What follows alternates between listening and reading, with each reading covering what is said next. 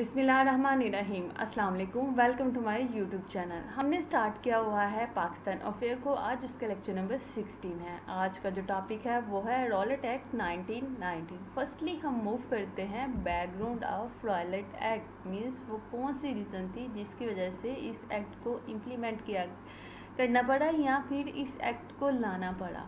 जो जो वो रीज़न थी, वो थी कि अब during world war one start uprising against British in India अब क्या हुआ कि फ़र्स्ट जो जंग अव्वल थी उसमें जो ब्रिटिश था वो जर्मन से लड़ा था। और मुस और जो ब्रिटिश इंडिया था ना उसके पास उन, उनके जो लोग थे उनके पास मौका आ गया था कि वो क्या कर सकें वो अपनी गवर्नमेंट बना सकें। उन्हें लगा कि देखो ये तो अब उस तरफ़ मसरूफ़ है हम क्या करते हैं? अपनी गवर्नमेंट बनाने। तो इस सिलसिले में फिर क्या होगी? इंडिया में ब्रिटिश के ख़िलाफ़ अपराइजिंग शुरू हो गई कि हमने क्या करना है? हम अपनी गवर्नमेंट खुद बनाएँगे। सेकेंड फिर जब ये एक सिचुएशन क्रिएट हो गई तो British had special emergency power to deal with the trouble maker तो उसके लिए अब जब एक सिचुएशन बन चुकी है अपराइजिंग स्टार्ट हो गया तब ब्रिटिश को कोई ऐसी मयर्स थे, ऐसी इमरजेंसी मेजर्स लेके आने थे जिससे वो इस ट्रबल को जो ट्रबल क्रिएट हो चुकी हुई है, इसको क्या कर सके ओवरकम कर सके या इसको क्रब कर सके।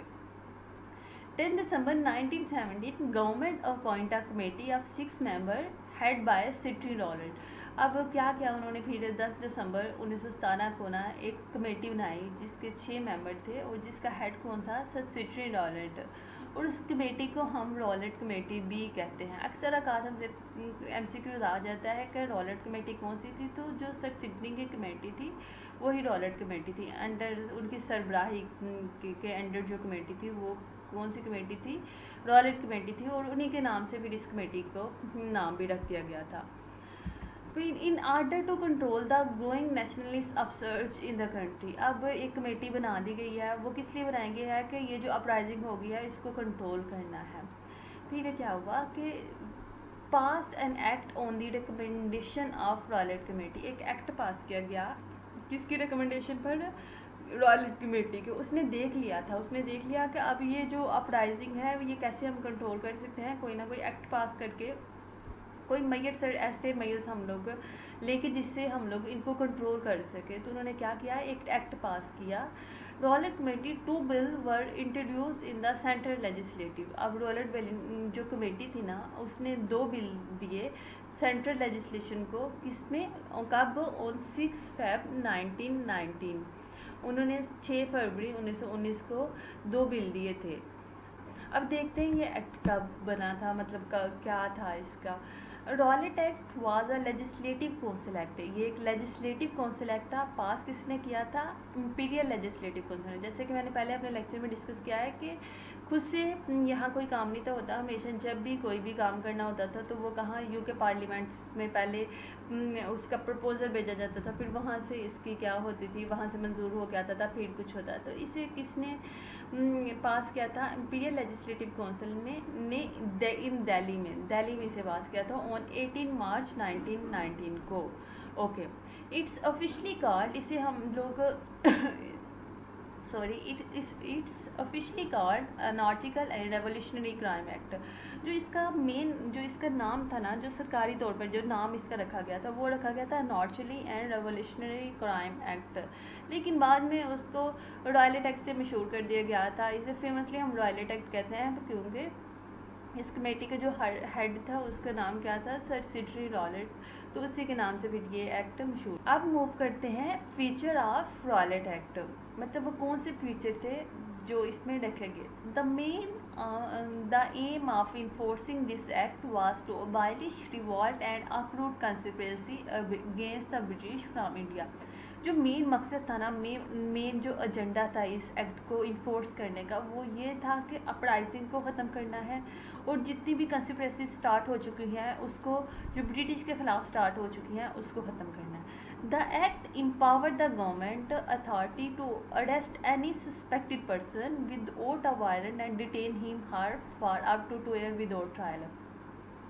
अब ये जो एक्ट था, ये इतना इम्पावर गवर्नमेंट को करता था गवर्नमेंट के अथॉरिटीज़ को कि वो, अब गवर्नमेंट के अथॉरिटीज़ में पुलिस भी आ सकती है।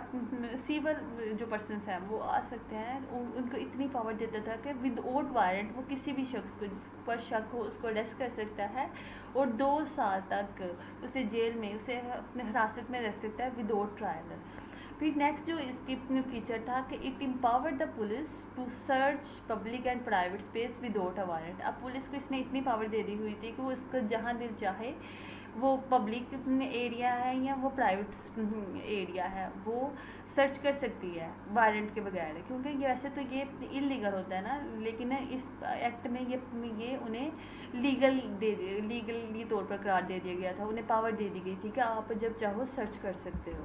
नेक्स्ट जो फीचर था it also place fear restriction on the freedom of the press अब इसने फ्रीडम ऑफ़ प्रेस पर बहुत सी रिस्ट्रिक्शन लगा दी। इसने अब इस ये, इस एक्ट में क्या लिखा गया था कि हर छोटी से छोटी जो बात है, वो भी क्या किया जाए? प्रेस में शाया की जाए। मतलब और भी बहुत सी चीज़ें थी। मतलब उसने जो जिसको कोई भी मसला है, वो डायरेक्ट आके अपनी बात आके प्रेस में क्या कर सकता है? वो शाया करवा सकता है। नेक्स्ट जो इसका फीचर था, वो था it empower the police for secret trial of suspect अब क्या था कि सीक्रेट ट्रायल भी आप ले सकते हो। नेक्स्ट जो था an indefinite ban on public gathering of any nature और पब्लिक गैदरिंग पर इसने किसी भी किस्म की पब्लिक गैदरिंग होती थी, उस पर क्या थी? रिस्ट्रिक्शन अप्लाई कर दी थी। मतलब बैन कर दिया हुआ कि कोई भी पब्लिक गैदरिंग नहीं होगी, जिससे वो चाहते ही नहीं थे कि कुछ लोग इकट्ठे हों। और उससे क्या हो अपराइजिंग हो, उससे ब्रिटिश के खिलाफ दोबारा से अपराइजिंग हो। तो ये ये जो एक्ट था बेसिकली लगाया ही मुसलमानों को मतलब मुसलमानों को नहीं ब्रिटिश इंडिया को इंडियन को कंट्रोल करने के लिए था। उनको उनको सोशली तौर पर कंट्रोल करने के लिए, उनको, उन पर पाबंदियाँ लगाने के लिए था। उनके फ्रीडम को छीनने के लिए था। अब ये सारे थे फीचर अब अब हम मूव करते हैं impact of Rowlatt act means एक एक्ट बन गया है। अब उसके इम्पैक्ट क्या क्या आए? The act was widely condemned by Indian leader and the public अब क्या थी? फुल ऑफ़ क्या थी? अब इंडियन ना तो इसे इंडियन लीडर ने एक्सेप्ट किया था और ना ही पब्लिक ने एक्सेप्ट किया था। The bill came to be known as black bill तो इसी वजह से ये बिल जो था वो किस mm, नाम से मशहूर हो गया ब्लैक बिल के नाम से मशहूर हो गया। अक्सर अकात हमसे ये सवाल पूछा भी जाता है कि ब्लैक बिल कौन सा था? तो रॉयल एक्ट ही जो था वो ब्लैक बिल था। फिर क्या हुआ? फिर जो नेक्स्ट इसका इम्पैक्ट आया कि the act was pass despite unanimous opposition from the Indian member of the council अब ये जो एक्ट था, अब यूनानोमस अपोजिशन के बावजूद भी क्या था, इस एक्ट को पास कर दिया गया, इस एक्ट को इम्प्लीमेंट कर दिया गया।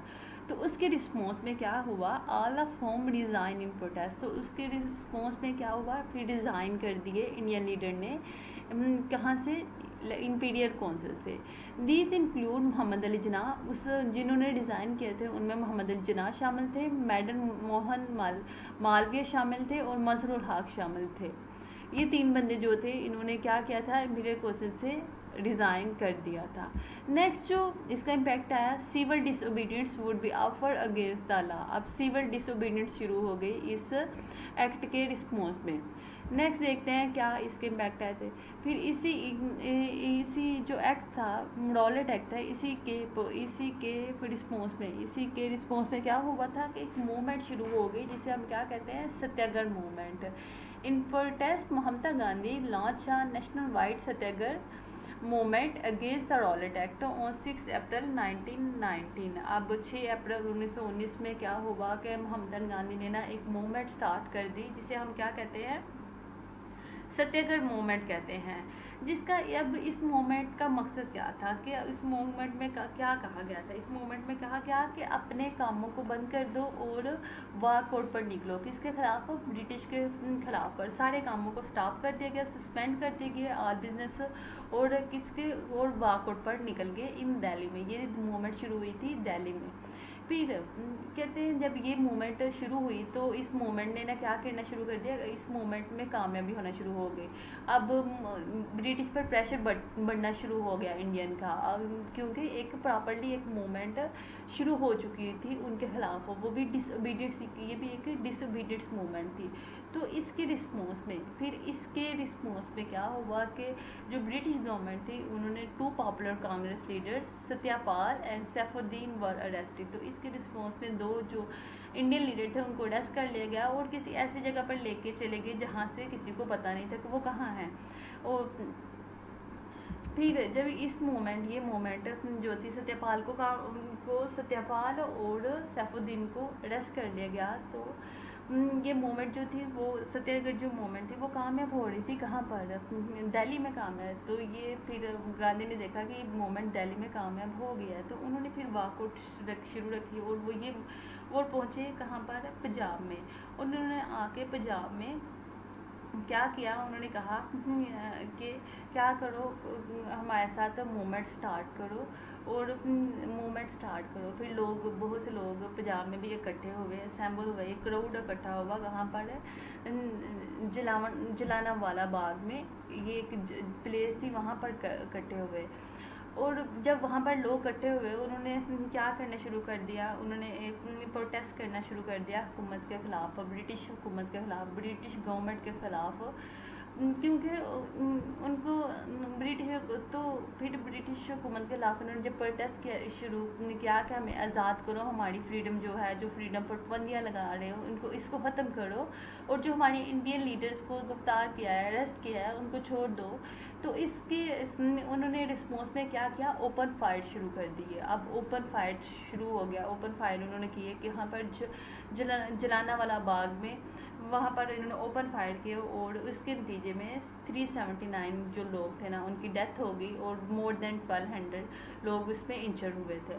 तो फिर ये वाला वाक़ है, जवान, जलाना वाला बाग, मस्कारा इंसिडेंट जो था ना, वो हैपन हुआ था। अब पंजाब की सिचुएशन बहुत इंटेंस हो चुकी थी। The the protest was very intense एक तो ये प्रोटेस्ट बहुत इंटेंस था। जब इस पर ऊपर से एक अजीब सा रिएक्शन शो किया गया। मतलब उन पर ओपन फायर जब कर दिया गया आर्मी ने तो ये और इंटेंस पकड़ गया। The protest was very intense when the act came into effect and the army was called और फिर क्या किया गया? आर्मी को बुलाया गया। Punjab to tackle the situation इस सिचुएशन को टैकल करने के लिए। सो so, ये था ये एक्ट और ये जो एक्ट था इसका मेन जो मकसद था ना वो क्या करना था? अपनी डोमिनेट्स को बरकरार रखने के लिए उन्होंने क्या किया? उन्होंने एक अजीब सा एक्ट लेके आए जिसमें वो मुसलमान मुसलमानों और हिंदुओं की मतलब मीन ब्रिटिश इंडिया की जो थी, वो सारी फ्रीडम को क्या करना चाहते थे? करप करना चाहते थे। क्या करना चाहते? थे कंट्रोल करना चाहते थे वो। वो चाहते थे कि जो भी काम हो, जो भी बात हो इनकी, वो वो वो हम करें। मतलब जो भी इन्हें काम हो, वो अपनी डोमिनेंट्स को बरकरार, वो हर जगह अपनी डोमिनेंट्स को बरकरार रखना चाहते थे। वो चाहते थे, जैसे वो दूसरी साइड पर वर्ल्ड वॉर वन में अब जर्मन के हाथों हार रहे थे पहले तो उनको डर था कि कहीं हमारी जो पावर है, जो हमारी डोमिनेंस है, वो ख़त्म ना हो जाए तो वो उसको बाहर रखने के लिए अजीब किस्म के ये हथकंडे यूज़ कर रहे थे अपनी पावर को बरकरार रखने के लिए। ये था रोलोवेट एक्ट होपफुली आपको समझ आया होगा। अगर आपको किसी किस्म की कोई क्यूरी या समझ नहीं, कहीं से नहीं आया तो आप कमेंट बॉक्स में पूछ सकते हो। तो जाते हुए जाते मेरी इस वीडियो को लाइक शेयर और चैनल को सब्सक्राइब कर दीजिएगा। अल्लाह हाफिज़ पी अमान